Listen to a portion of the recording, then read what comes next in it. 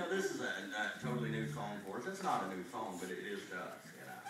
We haven't been doing this long, and like I said, Katie, uh, she started singing with us more, and, um, I really enjoy that. Um, I mean, you know, it's, uh, the Lord, you know, a lot of people say, well, you know, I bet you're really, uh, thrilled with your boys playing music and that.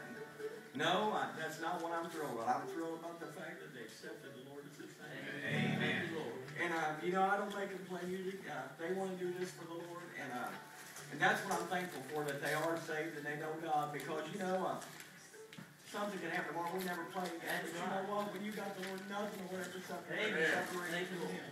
And I'm glad when I leave here someday, and I know, if I leave before they do, it'll be a short time, they'll be there. But this song is, uh, I'll trade the old cross for a crown.